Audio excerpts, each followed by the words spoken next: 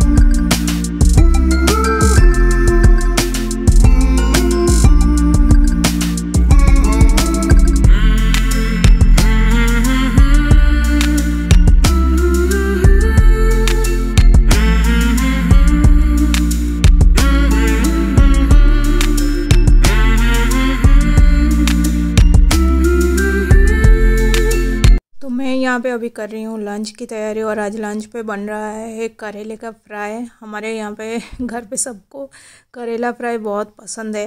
किसी को भी प्रॉब्लम नहीं है। एक्चुअली निवान को मैंने आज तक बीटर कोई टेस्ट है बो, बोल के बोला ही नहीं है।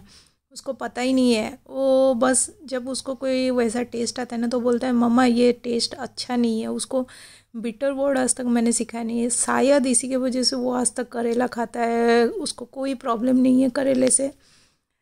चलो टच उड़ की ऐसा ही हमेशा वो फील करते रहे और खा ले। तो यहाँ पे मैं, यहाँ पे कम से कम टेन टेन थर्टी हो गया। मेरा ब्रेकफास्ट नहीं हुआ था। तो मैं यहाँ पे अभी मेरा ब्रेकफास्ट के लिए आज ये है स्प्राउट स्प्राउट्स में थोड़ा सा ऑनियन कुकुम्बर डाला है। नींबू और सॉल्ट बस उतना ही। और भी बहुत कुछ डालते हैं बट मुझे पसंद नहीं है। मुझे बस इतना ही पसंद है। तो यहाँ पे करेला फ्राई हो गया है तो इसको मैं अभी निकाल दे रही हूँ और सेम पैन में मैं अभी बनाऊँगी रॉ पपाया का करी तो एज यूजल सोम का पेट अभी तक भी मतलब अभी तक मेडिसिन चल रहे हैं और डॉक्टर ने बोला है कि वन मंथ तक थोड़ा वैसे ही लाइट खाना खाने के लिए. तो मसाले अभी हमारे यहाँ पे पूरा बंद है.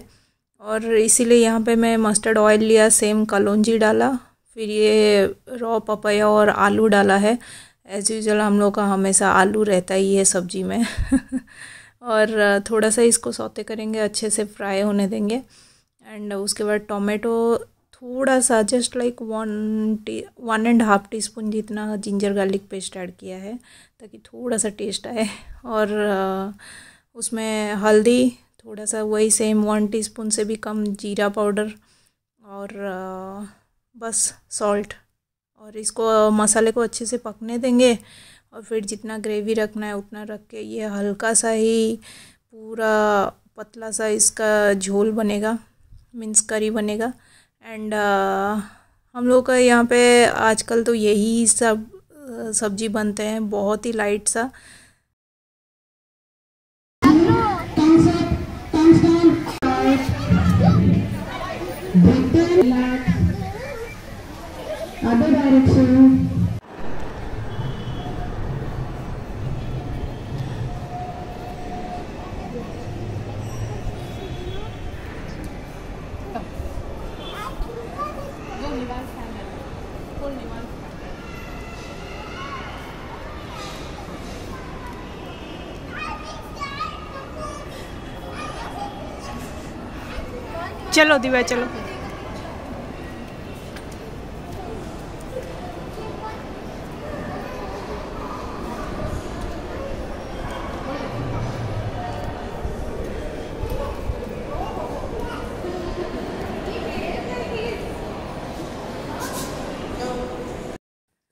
अभी यहाँ पे हो रही है डिनर की तैयारी और आज डिनर में है डोसा और उसके साथ नारियल की चटनी।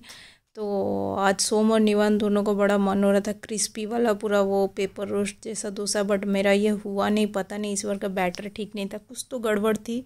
नॉर्मली मैं बना लेती हूँ पूरा पेपर रोस्ट वाला, बट पता नहीं क्यों हुआ नहीं इस बार का बैटर में कुछ प्रॉब्लम था मुझे लगता है। और ये बार बार चिपक भी जा रहा था, कुछ तो इधर उधर हुआ था। तो ठीक है। एंड जैसे भी हो, खा तो लिया। निवान को थोड़ा सा भी क्रिस्पी करके दे दो, वो खा ही लेता है। उसको कोई प्रॉब्लम नहीं है। और उसके साथ सिंपल सा नारियल की चटनी रहती है। और बस यही है।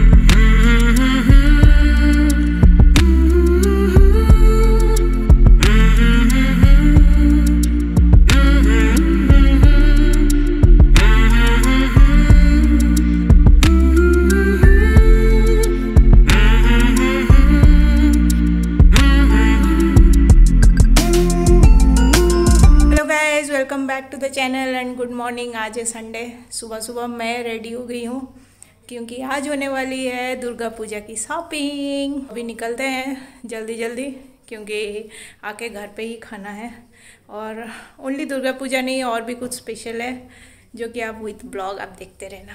तो चलो जल्दी निकलते हैं, क्योंकि लेट हो रहा है, आके फिर घर पे लंच भी करना है तो चलो।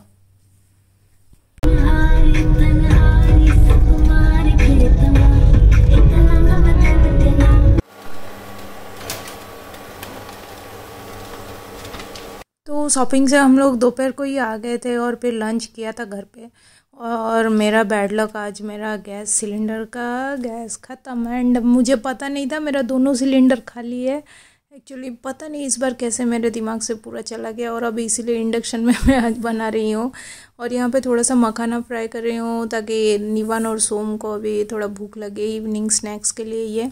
और बाकी मैं रख दूँगी वो निवान टिफ़िन में स्नैक्स वाला टिफ़िन में ये लेके जाता है। इसमें मैं बस सॉल्ट थोड़ा पेपर और थोड़ा सा घी डालो, इसको रोस्ट करके रख लो। और बच्चों के लिए बहुत अच्छा चीज़ है, ये हमेशा निवान खाता है। और बस यही है, इसके बाद फिर डिनर की तैयारी। और यहाँ पर डिनर में आज मैं पनीर था तो पनीर को मुझे फिनिश करना था, हो गया है दो तीन दिन तो नहीं तो फिर ख़राब हो जाएगा, इसलिए अभी जैसे तैसे करके उसकी एक भुर्जी टाइप बना रही हूँ मैं। नॉर्मली मुझे इंडक्शन में खाना बनाना बिल्कुल भी पसंद नहीं है, उसका हीट के कारण, इससे पहले जो मैं मखाना फ्राई कर रही थी ना स्टेनलेस स्टील में, उसमें दाग हो गया है ऑलरेडी थोड़ा सा हाई हो गया बोल के। मुझे इसीलिए इंडक्शन में बिल्कुल पसंद नहीं है। उसका कंट्रोल करने में ना बहुत मुश्किल हो जाती है। थोड़ा सा बढ़ा लो तो जलना शुरू हो जाता है। कमा दो तो कुक ही नहीं होता है तो फिर भी चलो जैसे तैसे अभी बनाना है, अभी गैस तो है नहीं। तो अभी ये वाला वीडियो मैं यहीं पे एंड करती हूँ। फिर मिलते हैं। Do like share and subscribe to our channel and फिर मिलते हैं एक न्यू वीडियो में। बाय